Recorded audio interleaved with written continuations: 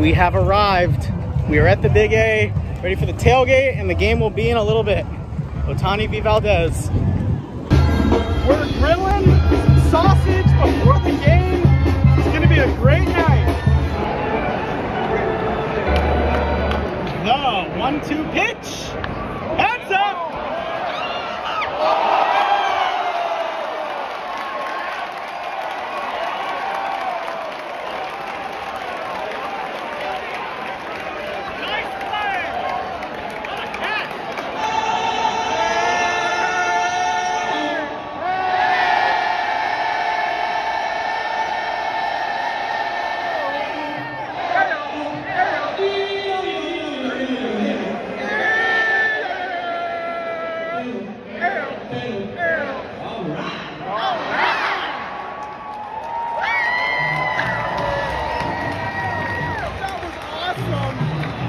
Yes, it is true, my friends.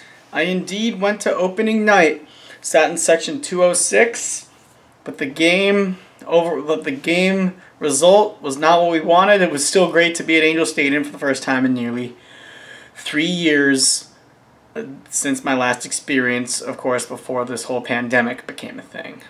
How could you forget about me though? You didn't invite me to the game. What the heck are you doing? Calm down. Also, Joe Maddon, change the lineup. Stop having Shohei Ohtani lead off. Have somebody like Brandon Marsh lead off. Yep. It's a big reason why we're doing terribly to start the season. And if he doesn't keep changing it, fire Joe Maddon. And also fire Paul Sorrento and Jeremy Reed. Their the hitting coaches are not good enough to do their jobs. Sorry, uh, overly loyal Angels fan. If you had told me this in advance, maybe um, you'd be able to go with me. But of course, I don't want your overly loyalness to get in the way. I will agree with you that I, he's not been the greatest with his lineups and his uh, decisions he's made through these four games in the season so far. But give it time. He might adjust his ways to a way in which we would prefer later on in the season. Nope. So, today for our episode of Angels Recap, I'm going to detail to you what happened in the four games in the Houston series, what my experience is like when I went to game one at Angel Stadium, and then we will look into our little two game interleague series against the Miami Marlins. And hopefully, in that series, we don't turn into fish. So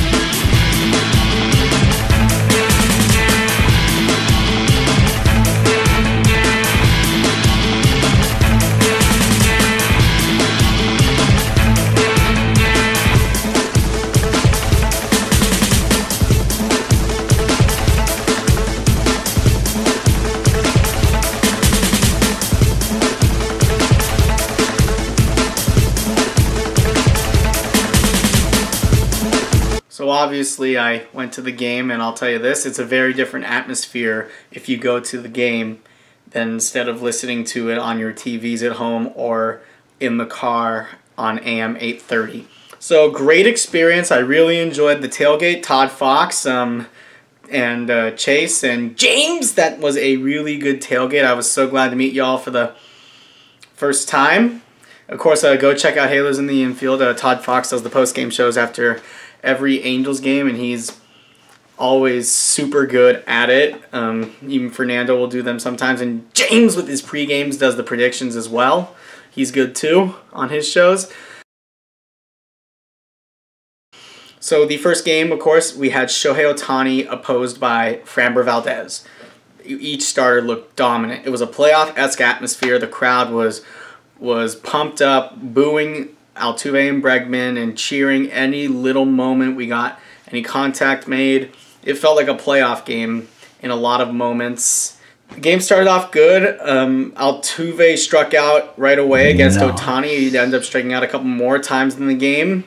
That's always a good sight to see. Ohtani would end up with nine strikeouts in the game through four and two thirds innings. Only Impressive. mistake was the uh, RBI base hit by Alex Bregman in the third inning. And at that point, we would remain scoreless into the eighth inning. Angels only having two, um, two, two to four hits, and two of those hits were by the best cleanup hitter in Angels history, known as Matt Duffy. So in the eighth inning, Ryan Tepera came on, and he threw one pitch to Bregman outside, and then the next pitch, Bregman crushed it into the bullpen to make it 2 0 Astros. And to make matters worse, Jordan Alvarez would bomb one to center, and it would be back to back home runs for mass exits for the Angels fans as the Houston Astros lead 3 0. Angels try to get a rally going in the eighth. Two quick outs, but Brandon Marsh gets hit with a pitch, and David Fletcher comes up and does a David Fletcher.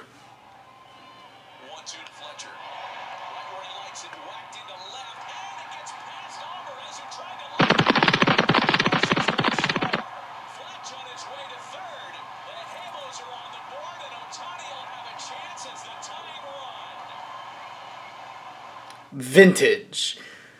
And the benefits of having Jordan Alvarez out there is that he's a, a very terrible defender, and even Astros fans would agree with me that he's not good defensively.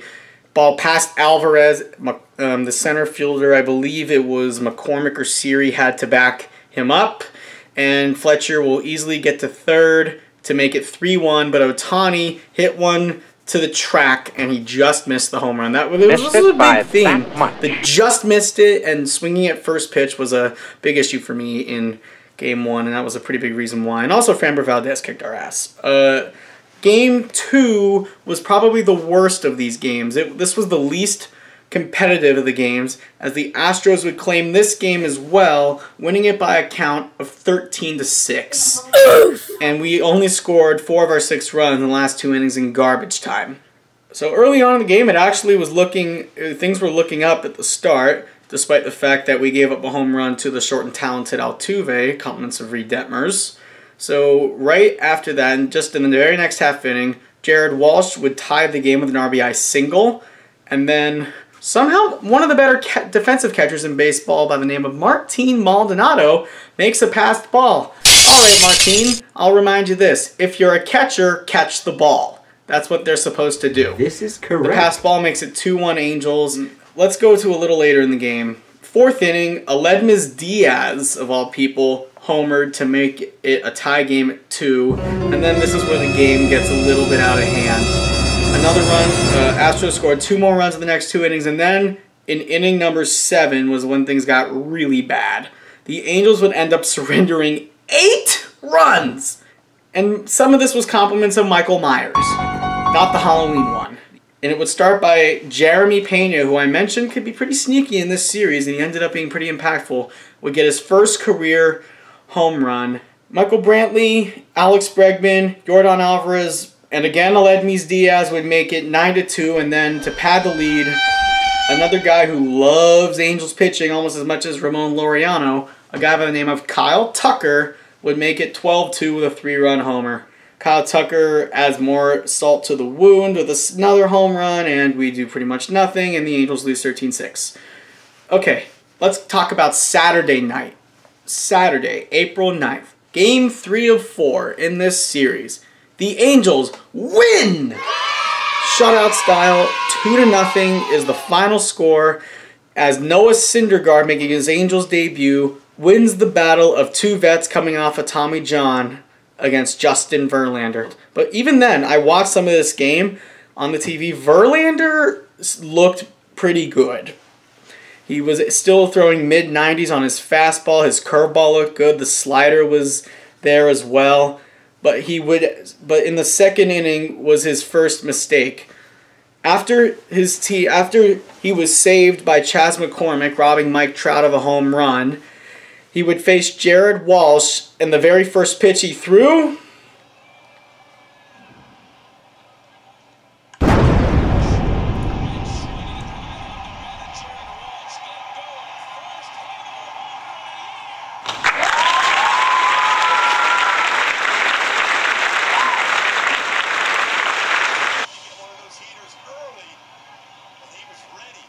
he went to Jared. Right down the middle. Justin, um, might want that pitch back, buddy. Oh, and by the way, the balls aren't juiced. So that was one nothing, and then Thor was carving up Astros, and he was getting ground balls everywhere. And even when he was giving, he gave up only two hits. The team gave up only two hits in the entire game, which is absolutely worth it. Like three tips of the cap. That's impressive. Houston's lineup holding them to two hits in the entire game. That's extraordinary. And then we go all the way to the bottom of the eighth inning We have Mike Trout up with a 1 2 count. He is facing Astros reliever Ryan Stanek. Stanek has and Trout have had some matchups in the past when Ryan was with the uh, Tampa Bay Rays.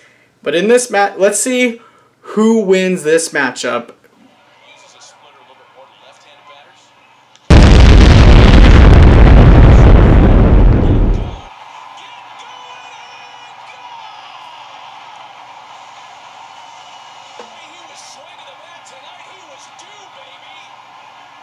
Isn't that just so refreshing to see, my friends? But what a bomb by Mike Trout. I'll take mine on the rocks. Woo! Raisel nails down the save rather easily. The Angels have, for the first time in 2022 in the regular season, won an actual MLB game. And then in game four, we go back to our wonderful losing ways by not being able to do a darn thing on offense. The only good thing we did was having Astros legend Jack Mayfield hit a home run against his former team to make it 1 0. And some pretty controversial moments in this game as well that cost us, even though we kind of gave the game away in the eighth inning. The bottom of the third inning, this is where the little bit of controversy is going to come in, though I was just watching this video myself. But I want to see what you think of it for those who may have watched this on the TV.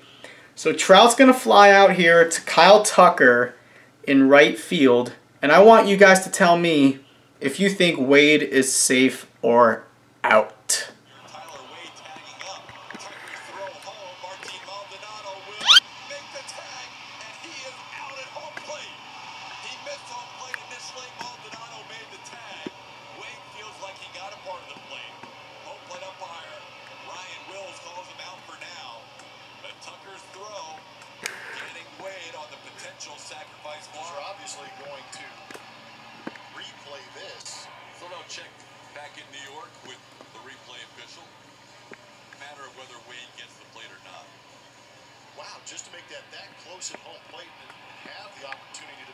Was a great throw by Kyle Tucker. Not just a stick. Good job by Maldi also holding his ground right here and catching this. What a beautiful one-hop throw. The plate, that's the question. Review, the call on the field stands. What? A roadblock? There was no obstruction here. Are you kidding me? Where's the obstruction? It, because Maldonado has the ball here, the, the, he's allowed to block the plate. If he has the ball, the catcher can do whatever the hell he wants. That's the rule. It's not like that one play in Miami many years ago when Cozart tried to play the challenge. Zach Cozart, Angels legend, tried to play the challenge game because he thought that the catcher illegally blocked the plate in that game. Look it up. It's called the worst call in MLB history. You'll find it all over YouTube, and the video comes up. But honestly, I'm watching that video, and even before I showed it to you, I don't think Tyler Wade even got the tip of the plate. It's a little hard to see, but if you're going to challenge it and you don't know, challenge safe or out, not obstruction. Knuckleheads. So, and at that point, um, this is where the game was slowly lost. Suarez started struggling a bit, and after getting a runner on base, some bad catching. Kurt Suzuki, if you're a catcher, catch the ball happened because the runner could have had a we could have had double play on the runner, but the runner moved up to second with one out, second and third. Suarez pulled Austin Warren in, two RBIs to Bregman, and the game was lost at that point. Another run scores on a wild pitch in the eighth inning, and the Astros get another one, and we are unable to rally back. And may I point out in the bottom of the seventh, we have a runner on base with like no outs. Kurt Suzuki's up. He doesn't bunt. You have him swing, and he predictably struck out. Bruh. Come on, guys. Small ball. Stop with the go deep. That's not how baseball works. You got to play small ball when you have runners on base. And that's a perfect situation to do it. Maybe you'll do that tonight against Miami. So the final in this game was Astros 4, Jack Mayfield 1. Pressly gets the save, his second of the series.